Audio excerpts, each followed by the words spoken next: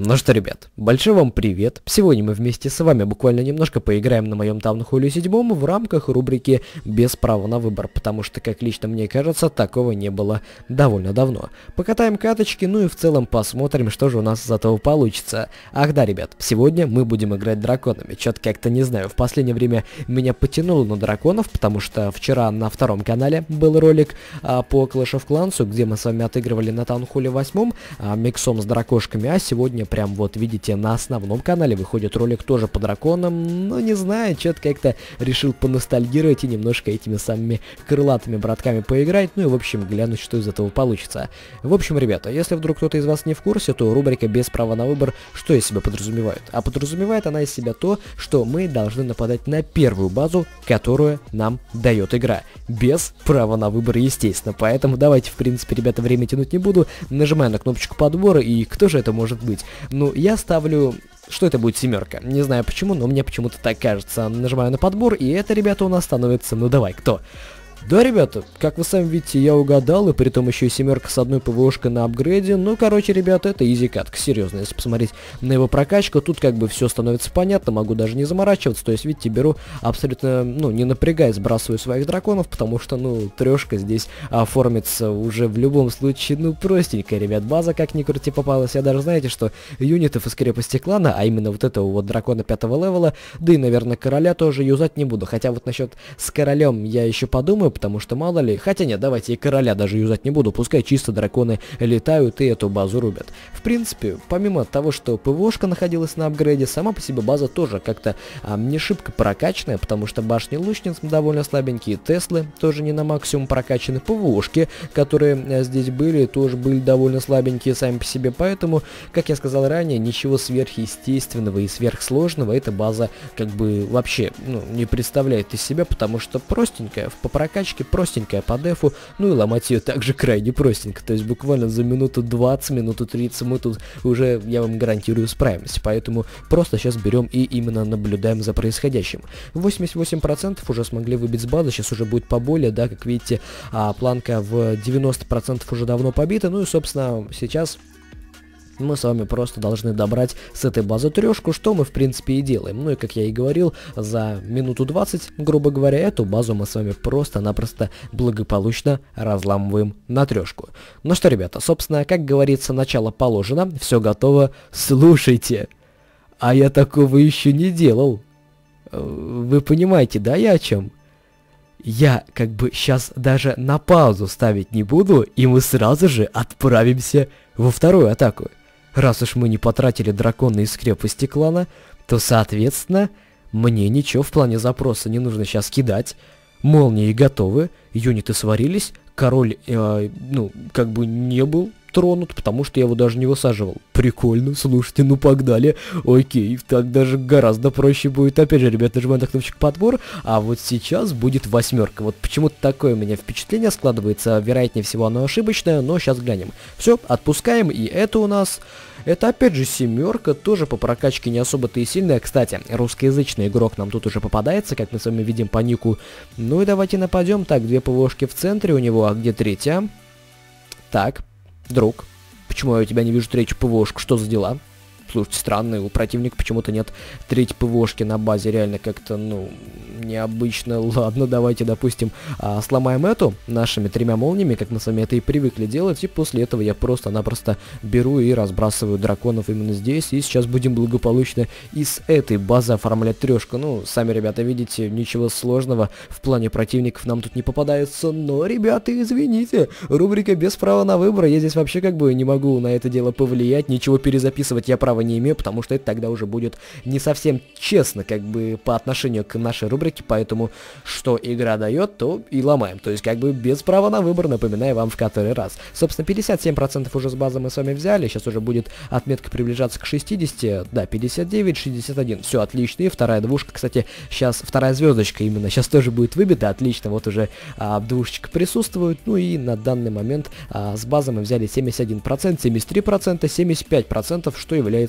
тремя четвертыми от всей-всей-всей базы в целом. Слушайте, ну реально очень классно часто проходят сегодня атаки. Вообще, я буду орать в голос, если мы сейчас вернемся на базу, и драконы опять же будут готовы. Но не, я не думаю, что они буквально за сколько, а, примерно, сколько у нас времени-то на эту атаку шло? Ну, минуты две максимум, там, на все про все. Я сомневаюсь, что за две минуты они бы сварились. Поэтому на базу мы возвращаемся, и драконы у нас только а, довариваются. Да, как мы с вами видим, буквально а, 3 минутки еще нужно будет подождать, хотя, возможно, и меньше, подождите. А, в 3 минуты на дракона, получается 9 минут в общей сложности. Ну, буквально минуты 2 нужно подождать, пока они сварятся, и, в принципе, ну, не знаю. Слушайте, а что если реально на паузу не ставить, посидеть вам о чем-нибудь порассказывать, чтобы реально одним дублем записать? У меня такого в жизни не было, это будет очень прикольно, и знаете, что самое приятное? Что вообще никто не будет, э, как бы, усомнен в том, э, делаю я, как бы, знаете, такие моменты, многие просто могут подумать, что, допустим, когда я ставлю на паузу после атаки, я именно дожидаюсь, пока будет готова именно армия. Соответственно, подрубаю запись. Как только все готово, нажимаю на кнопочку в бой, подбор. То есть а, меня база не устраивает, я могу спокойно закончить бой, выйти на базу, допустим, собрать ресурсы, чтобы 4 миллиона, допустим, золота было на руках. И, соответственно, как ни в чем не бывало, начать типа, мол, ребята, вот я только вернулся. Хотя на самом-то деле до этого уже там что-то базу нашел, она мне не понравилась, допустим, была либо очень слабая, была очень сильная, а ну что-нибудь из этой серии, допустим, и как бы перезаписываю, как ни в чем не бывало. Чтобы вам доказать, что такого не было, слушайте, а давайте мы реально сейчас посидим и подождем, пока у нас драконы сварятся, я о чем-нибудь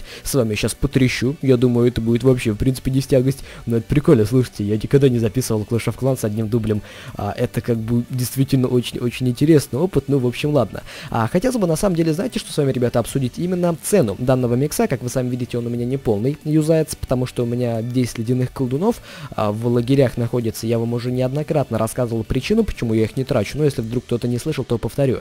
А, буквально через месяца два или три я планирую записать фан-атаку как раз с вот этими вот 10, 10, а, вернее, ледяными колдунами. Сейчас их практически ни у кого нет, кроме, ну, таких же, как я, кто решил их просто-напросто, а, когда они были доступны, сварить и потом, ну, естественно, как вы понимаете, не тратить. Записать такую эксклюзивную фан-атаку, которая, я думаю, очень многих порадует, потому что, ну, все уже про ледяных колдунов забудут, а я вам, так сказать, напомню. Поэтому я их и не трачу. Ну и, в общем-таки, ребята, юза, я в своем нападении 3 молнии и 8 драконов, и все, все это дело, давайте округлим, обходится мне в 300 тысяч обычного эликсира. Это дорого. Серьезно, это очень дорого, но, как мы с вами видим, микс нереально эффективный, и, в принципе, его ценообразование, как бы, оно оправдано. Серьезно, оно реально оправдано, и поэтому жалоб по этому поводу у меня нет, и, ребята, еще один микс готов. Так, ну что, погнали? Давайте, дожимая на кнопочку подбор в очередной раз. Ну, сейчас-то точно должна попасться восьмерка, я прям вообще почти в этом уверен. Ну, давайте, посмотрим. Отпуская кнопочку, и это у нас это опять семерка. Черт возьми, почему мне так, э, ну, как бы одновременно и везет, и не везет? Это странно все, черт возьми, это реально странно. Ну ладно, в любом случае нападаем. Чего уж нам тут поделать? Кстати, ПВОшка тоже на апгрейде находится. Ну ладно, давайте я не, не знаю, как-нибудь именно себе задачу усложню. Давайте я не буду ломать у него прокачанную ПВОху в центре, а, допустим, сделаю так. То есть поломаю реально слабенькую и залечу как раз со стороны сильных. Хотя это мне по большому счету абсолютно никак толком-то не упрощает, э, ой, вернее, не усложняет задачу, потому что, ну, одна ПВшка четвертого левела, блин, ребят, ну это вообще несерьезно. Такое дело можно в любом случае вообще спокойно, спокойно поломать. Абсолютно это я вам а, без сомнений говорю. Так, ребята, опять же, как вы понимаете, не будем тратить мудрокошку нашего из крепости клана. Сегодня, знаете, прям принципиально его тратить не хочу, пускай там до покраснения сидит, почему бы и нет. Ну и в принципе, как бы, в любом случае, если там какие-нибудь проблемки у нас будет, будут, э, допустим, там драконы не будут вывозить, тут они погибнут, там именно погибнут, я хоба, из своего резервного дракона из крепости клана возьму и, собственно, скину. По-моему, задумка довольно неплохая, ну и вот эта вот дракошка, что находится в КК, пускай там и находится, ну, до посинения именно, поэтому я как бы не тороплюсь его тратить, ну и, ребята, черт возьми, это опять абсолютно спокойная трешка, я не знаю, что мне с этим поделать, но это невероятно фаново выглядит, невероятно а, необычно, потому что, ну, я привык, что Clash of Clans это как бы постоянные паузы, пока найду базу, соответственно, пока именно все это дело пройдет, довольно долго обычно у меня уходит времени на запись ролика по Clash, а тут как бы одним дублем, типа, чё, Clash of Clans одним дублем записать, это как такое умудриться можно сделать? Как вы, ребята, видите, можно, рубрика без права на выборы Town Hall 7 с восьмью драконами творят реально чудеса. Опять же, ребята, оформляем трешку, как мы с вами видим. Давайте именно посмотрим на наш логбой боя. Так, у нас там еще одна партия варится. Ну, здесь она уж, конечно, подольше будет вариться. Хотя я до сих пор как бы не против того, чтобы подождать ее. Почему бы и нет? Так, ребята, идем в ход атак и просто посмотрите на это. За 7 минут мы с вами провели 3 боя драконами. Это вам не какие-то барбалуки, это вам не какие-то гоблины, а немножко гигантов, что довольно варятся быстро. Это драконы, они варятся довольно долго. Плюс еще и дожидаемся а, заклинания, без заклинания никуда не идем, и как-то это реально выглядит необычно. Просто посмотрите, используется просто, ну, так сказать, один юнит и одно заклинание. Это просто 8 драконов, этот самый один юнит, и в качестве заклинания 3 молнии просто, типа, два и два вот этих вот составляющих, и все, трешка как бы оформляется. Мы сами видим 34, 17, 17, тоже, кстати, забавные цифры, смотрите, 34 с первой атаки мы взяли кубков, а если вот именно просуммировать а, кубки с наших двух атак, то тоже выходит 34. Это все, походу, магия Бермудского треугольника, там, походу, ребята, да. Я-то думаю, что ж за выпуск-то странно получается, иллюминати? Это они? Я не понимаю, слушайте. Магия чисел, драконы, это все как-то связано, пацаны. Пацаны, девчонки, потому что, ну, это же реально, черт возьми, очень странно. Вы сами все прекрасно видите, что происходит. Драконы у нас варятся довольно быстро. Я постоянно а, иду в атаку толком, ну, ничего особо такие не дожидаясь. Вот эти вот кубки еще намекают на то, что все как бы странно. Очень это странно, чуваки. Я даже не знаю, на самом деле, как можно прокомментировать эту ситуацию, разве что одно слово. Че такое? Это, правда, не одно слово, но, в общем, ладно. Не страшно. О чем бы вам еще такое можно было рассказать? Я просто реально, знаете, принципиально не хочу ставить на паузу, чтобы этот выпуск именно реально записался одним дублем. Это будет что-то реально впервые для меня такое новое, когда летсплей записывается одним дублем, потому что раньше, а, да и не раньше, всегда, да, всегда получается, я даже рубрику именно без права на выбор записывал, естественно, разными фрагментами, как обычно оно и получалось, потому что пока достроится армия, пока можно будет запрос скинуть на юниты в крепости клана, пока там выспятся герои, туда-сюда, проходит определенное время, и в любом случае его нужно подождать на паузе, чтобы как бы ваше драгоценное время не тратить, а тут у нас как бы микс строится довольно быстро, и в атаку мы также довольно резво идем, и в принципе, ну реально очень необычно как-то, я даже не знаю, как прокомментировать комментировать это дело, ну, в общем, ладно. Блин, как-то неудобно, кстати, получается, что-то сидим уже сколько, может, минуты две на базе, и вы типа смотрите чисто на базу и слушаете то, что я говорю. Ну, не знаю, на самом деле, в качестве эксперимента, почему бы не попробовать, это постоянно пауза до паузы, пауза до паузы. Почему вам, допустим, ну, вместе со мной не посидеть и не подождать, пока сварится все это дело, правильно? Я думаю, правильно. В принципе, за все вот это вот время, что я именно записываю ролики по Clash of Clans, можно вам, я думаю, показать, как выглядит вот это вот просто ожидание юнитов. Я думаю, как, как и у всех оно выглядит. Вы просто тупо сидите в тупую на базе и ждете, пока они достроятся. Если вы думали, что у ютуберов как-то все немножко иначе, типа, юниты быстрее, может быть, варятся, там привилегии какие-то, не-не-не, чуваки. Нифига подобного. Также сидим, также ждем, пока все будет готово, ну и, соответственно, также а, нападаем на противника. И знаете, ребята, что мне реально интересно? Будет ли сегодня хотя бы одна, вот хотя бы реально одна восьмерка, потому что если а, целый выпуск будет завязан чисто на таунхоллах седьмых, на таунхоллах седьмых, то это реально какая-то прям вообще аномалия, скажу я вам, потому что кубки, таунхоллы седьмые, это же все как-то связано, то есть гляньте, цифра 7 там, цифра тут, а, именно седем, семерочка, то есть слишком много семерок, тут 1375, тут 17, тут, тут 17, нападаем на таунхоллы седьмые, таунхоллом седьмым, то есть очень много семерок как-то подозрительно фигурирует, ну ладно. Все, ребята, армия готова, ну чё, вот восьмерка, ну сейчас-то не подкачать, ну попадись, я тебя богом прошу, то есть, ну чё тебе стоит, давай, пожалуйста, восьмерка. Ой, ребята, это реально какая-то магия какого-то бермудского треугольника. Но знаете, что действительно радует? Это хорошая семерка, то есть это самая топовая семерка из тех, что мы сегодня с вами встречали. Это действительно неплохо. Даже здесь будет, ну, как бы вообще не жалко потратить, как бы, драгоценного дракона из крепости клана. Поэтому давайте. Собственно, ребят, смотрите, что я тут делаю. Я делаю, э, получается, так. После этого я делаю, получается, э, так. После этого я делаю еще вот таким вот образом, тремя молниями это дело я выношу благополучно. И после этого начинаю сбрасывать дракошков вот сюда вот именно, ну и дракончика из крепости клана также не забуду.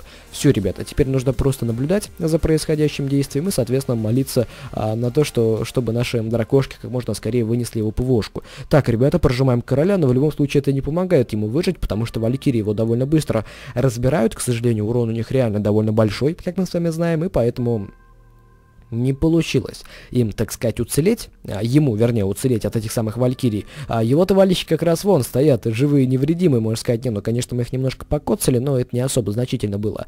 Поэтому такое. Опа, сейчас дракончики накостыляют. Ребята, раз-два, раз-два, и три. Все, минус, собственно, у противника вальки залетают. Не, ребят, ну, по большому счету, это, наверное, самая интересная база из тех, что нам сегодня именно попадались. Но зато часто, серьезно, вот это вот меня больше всего и радует в а, роликах по рубрике «Без права на выбор», то, что самое главное, все реально, все реально проходит честно, то есть я никогда не мухлюю вот во всем этом плане, то есть не пытаюсь как-то сделать так, чтобы ролик вышел интересный, и, допустим, если попадается какая-то нехорошая, лично, как по мне, база, или очень слабая, или очень сильная, о чем я вам уже и говорил, я не перевыбираю, потому что тогда рубрика теряет абсолютно целиком и полностью свой смысл и свою изюминку. Я это не поддерживаю, и вот сегодня вы, ребята, удостоверились, то, что ролики так, именно такого плана записываются реально, а, ну, не с одного дубля, сегодня просто так получилось, как-то странно, но в любом случае вы удостоверились в том, что я всегда нападаю именно на первую базу, то есть на реально первую базу, что мне предоставляет игра.